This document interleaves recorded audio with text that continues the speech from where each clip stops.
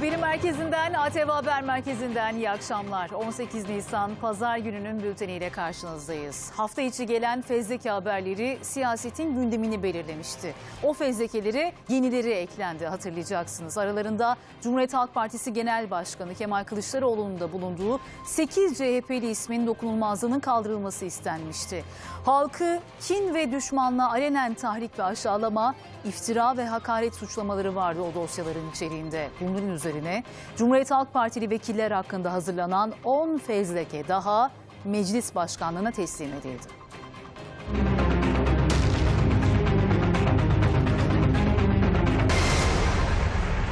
CHP Genel Başkanı Kemal Kılıçdaroğlu'nun ardından bu kez kurmayları da listeye eklendi. Geçtiğimiz hafta Kılıçdaroğlu ile birlikte 8 CHP'li ismin dokunulmazlıklarının kaldırılması istenmişti. Gerekçe olarak da CHP'nin hazırladığı ancak toplatılma kararı verilen 21 soruda FETÖ'nün siyasi ayağı broşürü gösterilmişti. Kılıçdaroğlu ve dönemin CHP MYK'sı hakkında Cumhurbaşkanına hakaret, halkı kin ve düşmanlığa alenen tahrik ve aşağılama, iftira, sesli, yazılı veya görüntülü bir iletiyle hakaret, suçlarından tatbikat yapılabilmesi için dokunulmazlıklarının kaldırılması talep edildi. Hatta fezlekelerle kitapçığın basıldığı dönemdeki 17 MYK üyesi hakkında soruşturma başlatıldı. fezleke düzenliyorlar. Kılıçdaroğlu'nun dokunulmazlığını kaldıracağız diye. Daha o 8 fezlekenin dumanı tüterken meclise 10 yeni fezleke daha geldi. CHP Genel Başkan Yardımcıları Lale Karabıyık, Bülent Kuşoğlu, Seyit Torun'un da aralarında bulunduğu 10 CHP'li ismin dokunulmazlıklarının kaldırılması için hazırlanan fezlekeler meclis başkanlığına teslim edildi. Fezleke listesinde Genel Başkan Yardımcıları Onursal Adıgüzel, Gülüzer Biçer Karaca, Gamze Akkuş İlgezdi ile Genel Başkan Başdanışmanı Ünal Çeviköz, eski MYK üyeleri Orhan Sarıbal, Yıldırım Kaya ve Aykut Erdoğdu da bulunuyor. CHP'nin günlerdir Merkez Bankası üzerinden başlattığı oyunu kendi milletvekilleri bozdu. CHP İstanbul Milletvekili İlhan Kesici önce aynen şu cümleyi kurdu. Rezerv kaybolmaz, girersiniz Merkez Bankası bilançosuna, alımları, satımları görürsünüz dedi. Ancak bu cümleleri muhalefet cephesinden tepki gelince Genel Başkanım Kılıçdaroğlu ve partimle aynı görüşteyim açıklamasını yapmak durumunda kaldı.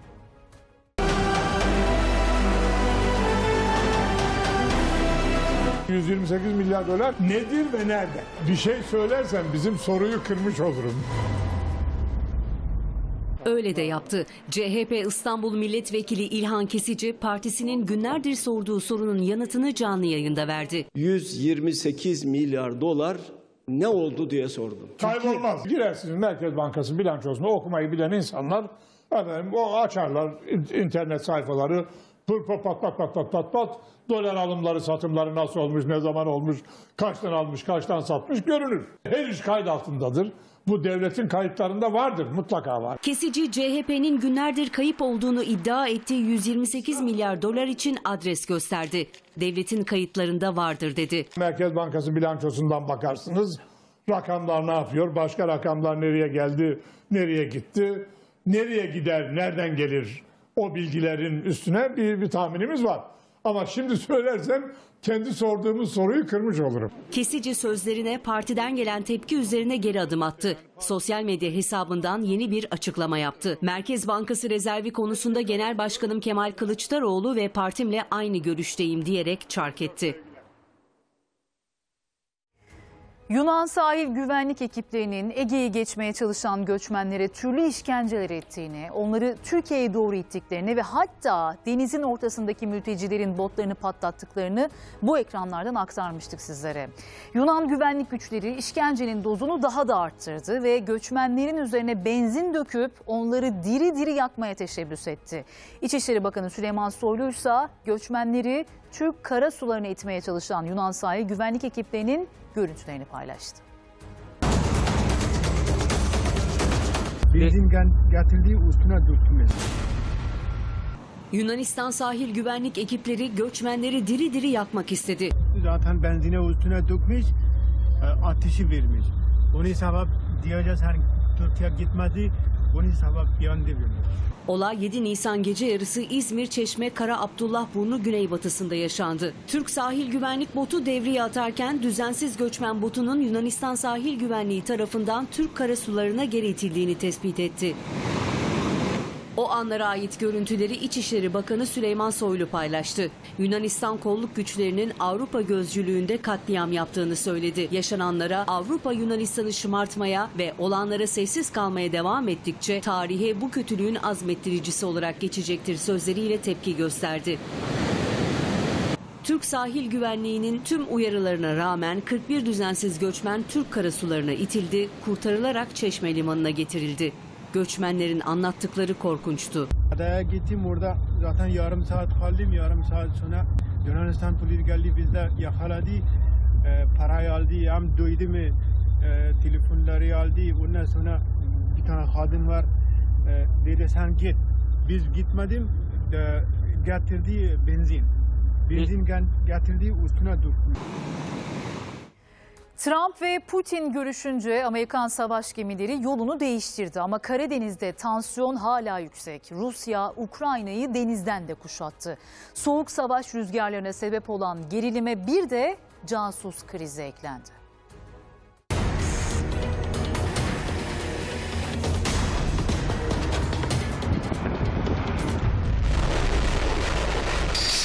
Kara ve deniz tatbikatları ard arda geldi. Rusya Ukrayna'yı tam anlamıyla ablukaya aldı. Soğuk savaş etkisini Karadeniz'de de gösterdi. Rus ordusu zaten Donbas'a 60 bin, Kırım'a 40 bin askerle sığınak yapmıştı. Buna Karadeniz'de eklendi. Azak Denizi tatbikat gerekçesiyle Ukrayna'nın askeri gemilerine kapatıldı. Ticari gemiler şimdilik izne bağlı. İki ülke arasındaki gerilime bir de casus krizi eklendi.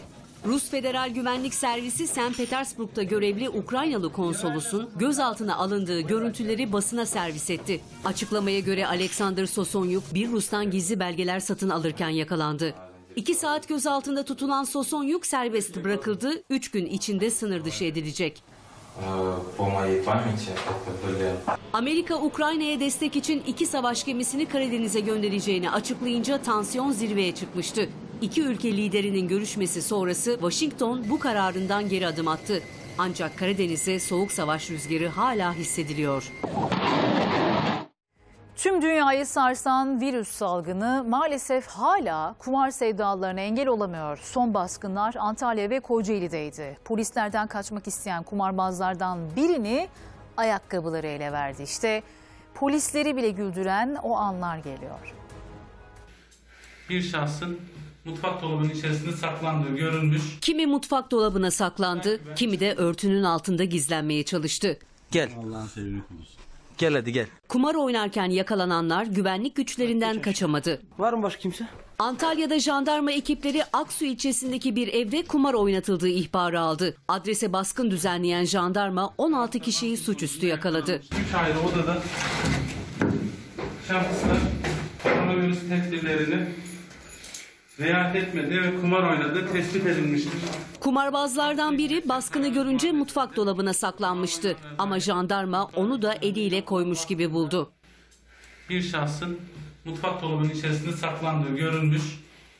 Kocaeli'de de polisler Kartepe'deki bir kahvehaneye baskın düzenledi. Kumar oynatılan kahvehanede 18 kişi vardı. Çarşafın altında gizlenmeye çalışan birini ise ayakkabıları ele verdi. Yere oturup üzerine örten adam polisleri de güldürdü.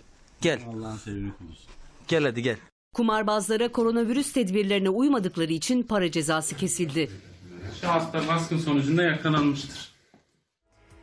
Türkiye Sinovac ve BioNTech'le aşılama çalışmalarını sürdürüyor. Aşı olan acaba antikorum ne kadar diye merak ediyor. Bu soru ve türevlerinin yanıtlarını sizin için araştırdık. Haberimizde izleyeceksiniz birazdan ama bir de yeni aşı çalışmamız var. VLP aşı adayımızın altında ODTÜ ve Bilkent'in imzası bulunuyor. Faz 1 için ilk gönüllü Bilim ve Teknoloji Bakanı Mustafa Varank oldu. Kolları sıvadı, yeni yerli aşıya gönüllü oldu. Sanayi ve Teknoloji Bakanı Mustafa Varank'ın yaptırdığı aşı mRNA ya da interaktif bir aşı değil. ve aşımızı yaptırdık. İnşallah bu çalışmalarla Türkiye'nin VLP denilen e, yeni teknolojideki aşısında hızlıca ilerleyerek sene sonuna kadar faz üç çalışmalarını tamamlayıp Türkiye'nin VLP yerli ve milli aşısını biz elimize almak istiyoruz. ODTÜ Bilkent imzalı VLP aşıda geliştirilen virüs benzeri parçacıklar virüsü enfeksiyon oluşturmayacak şekilde taklit ediyor.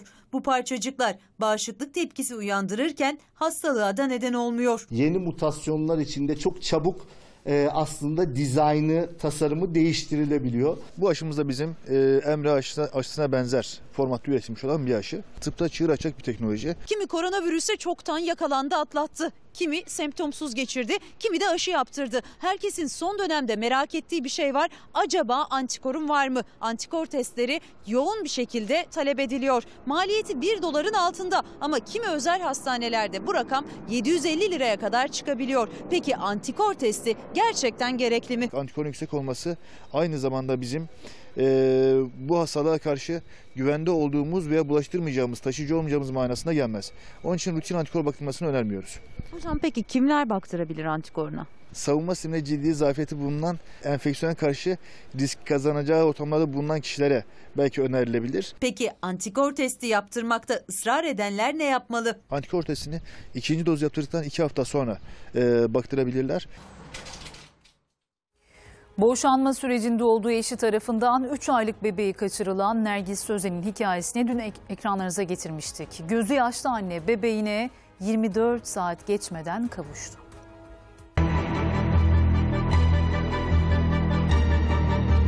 beslenmesi gerekiyordu ve o sırada işte kaçırdı bebeği. Ne yapacağım bilmiyorum yani. Elim kolum bağlı. Talihsiz anne gözyaşları içinde evladını geri istemişti. Ayrılık uzun sürmedi. Hayatımın şokunu yaşadım. Ee, çok umutsuzluğa kapıldığım anlar da oldu. Levent Sözen boşanma aşamasında olduğu eşinin evine gelmiş, 3 aylık kızını pencereden atlayarak kaçırmıştı. Hem de mahkeme kararına göre belirlenen ilk yasal görüş gününde. Bekliyor muydunuz böyle bir hareket? Tabii ki beklemiyordum böyle bir şey. İnşallah kimse yaşamasın. Polis minik bebeği bulmak için düğmeye bastı. 24 saat geçmeden de operasyon tamamlandı. Levent Sözen'in izine Gölbaşı'nda rastlandı. İnanılmaz bir sevinç hissettim. Polis Levent Sözen'i gözaltına alırken minik Asya dedesi tarafından annesine teslim edildi. Çiftin boşanma davasına bir de çocuk kaçırma davası eklendi. Şikayetçi misiniz siz? Biz hukuki süreci başlattık devam ediyor zaten. Bu habere pandemi fırsatçıları dedik. Çünkü zanlılar çok kısa bir süre önce pandemi gerekçesiyle cezaevinden çıktı ve yine kısıtlamayı kullanarak bir tezgah kurdu. Kendilerine polis süsü veren sahtekarlar milyonluk vurguna imza attı. Neyse ki polis durumun farkına vardı ve onları tekrar yakaladı.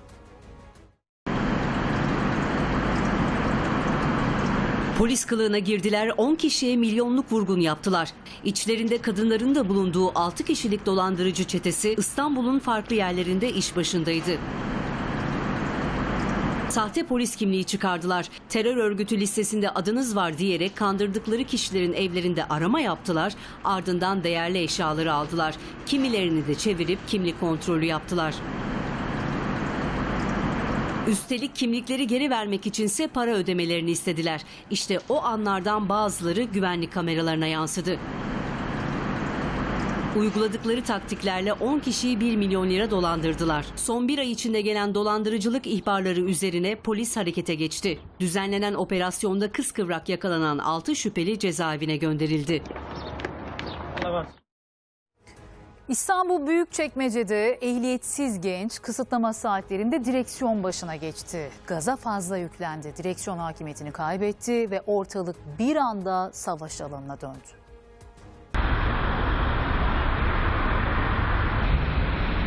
Hem ehliyetsiz hem de aşırı süratliydi. Tüm bunların sonunda ölümden döndü.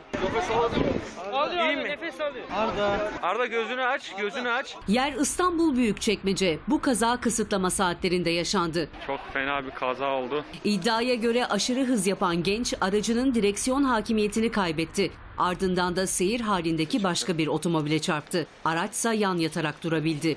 Onlar da korktu. Adam gidiyor kurtarmaya gidiyor. Büyükçekmece Tepecik'te kaza meydana geldi. Ambulansı falan çağırdık.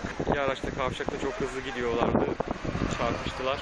Şu araç kapıdan vurdu ve havada bir döndü. sonra düştü. Kazayı görenler hemen yardıma koştu. Bir yandan yaralıyı çıkardılar, diğer yandan sağlık ekiplerine haber verdiler. İyi mi? Arda. Arda gözünü aç, gözünü aç. Polis ve ambulansa haber verildi. Arda hadi aç oğlum. Arda. Neyse ki talihsiz kazazede o korkunç kazadan canlı çıktı, herkes rahat bir nefes aldı. Diğer araçtaki iki kişiyle birlikte hastaneye kaldırıldılar. Halk arasında tatlı yiyelim, tatlı konuşalım diye bir söz var gerçi ama Samsun'da bunun tam tersi bir durum yaşandı. Bir grup genç pastaneye tatlı istiyoruz diye geldi ama bu taleplerinden saniyeler sonra bakın ne oldu.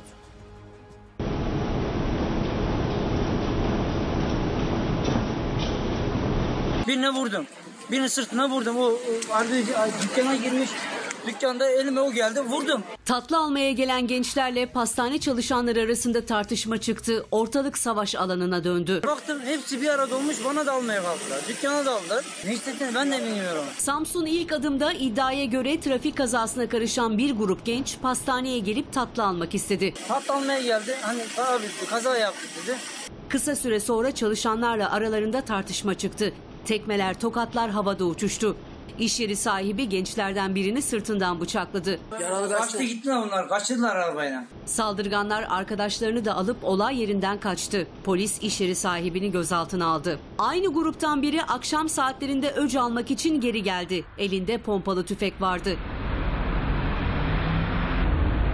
Dükkana dört el ateş eden saldırgan olay yerinden kaçtı. Polis saldırganların peşinde. Adana'da bir traktör karşı yönden gelen bir araçla kafa kafaya çarpıştı. Kameralara yansıyan o kazada bir tuhaflık vardı. Çünkü traktör sürücüsü direksiyonu aracın üzerine bir anda kırmıştı ve yaşananlar sadece o kazayla da kalmadı. Kaza sonrası eli sopalı bir grup araç sürücüsünü öldüresiye darp etti.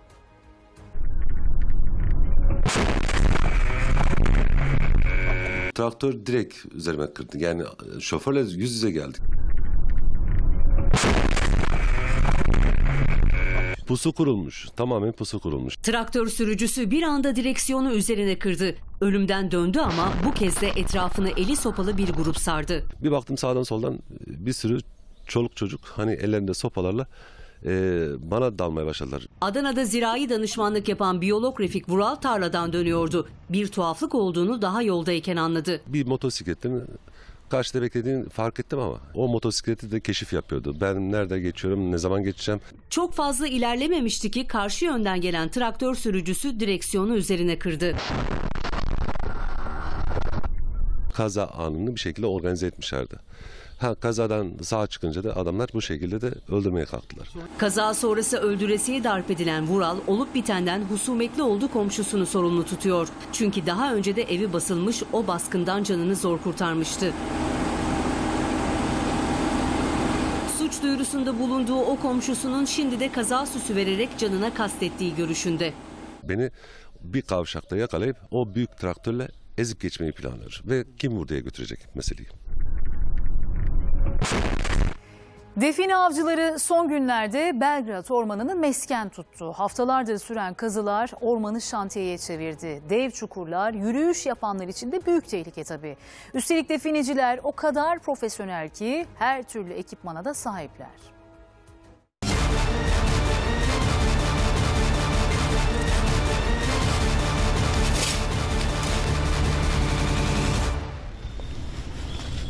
Haftalarca kazdılar, dev çukurlar açtılar, define aradılar. Bulamayınca hırslandılar, daha da derin kazdılar. Burası Belgrad Ormanı. Defineciler her türlü araç gelişiyle birlikte en son bu noktaya kadar geldiler. Zira buradan sonra araçla gidilmiyor. Yaklaşık yarım saat yürümek için bu kapıdan girdiler. Sonra da kilometrelerce yürüdüler. Aklın mantığın almadığı bir görüntü. Belgrad Ormanı'nın tam da ortasında yaklaşık 25 metrelik derin bir çukur var. Kazmışlar, kazmışlar, kazmaya devam etmişler.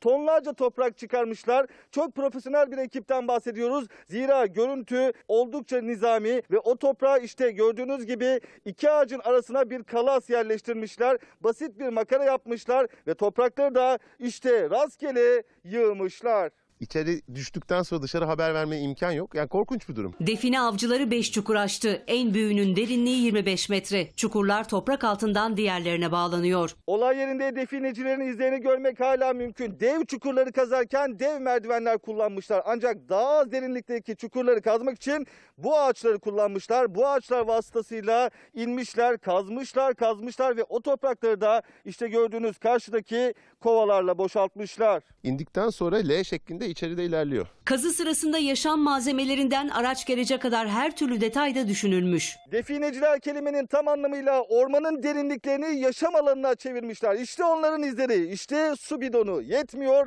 yakılan ateşin izleri yetmiyor, yenilen domatesler ve bir ilginç görüntü daha. Ona da beraber hep birlikte bakacağız. İşte definecilerin kazdıkları çukurlardan bir tanesi içeride mangal teli ızgarası görüyoruz. Tüm bunlar yürüyüş yaparken tesadüfen oradan geçen bir vatandaşın ihbarıyla ortaya çıktı. Polis ve jandarma çukurların çevresine önlem aldı, kazan kişileri arıyor.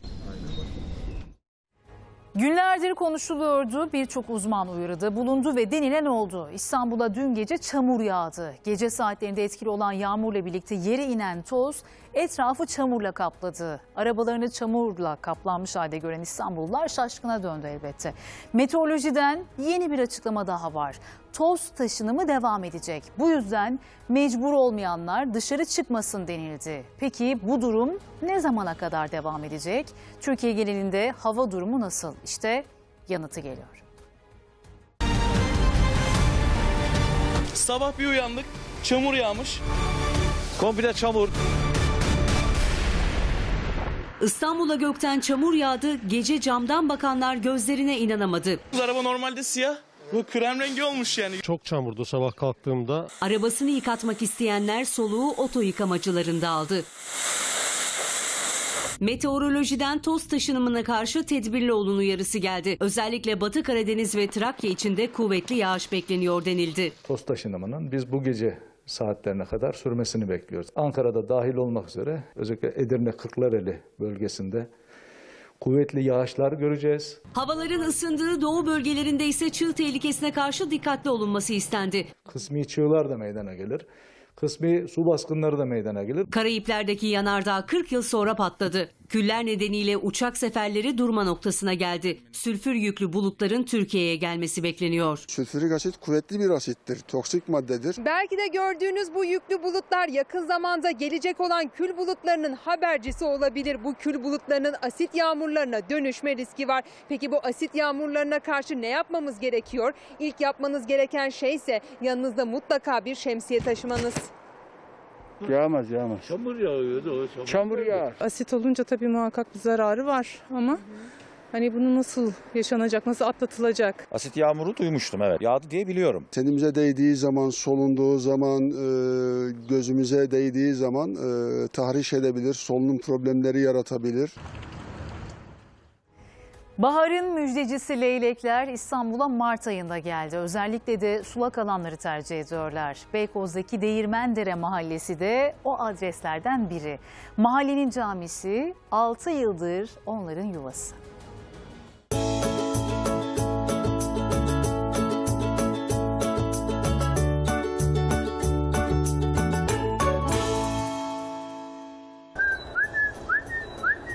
Çok güzel, çok güzel oluyorlar. Her bahar geliyorlar. Bu sene biraz geç geldiler. Bahçeye gidip bir şey bir şey alıp gidiyorlar. Evet kalktı.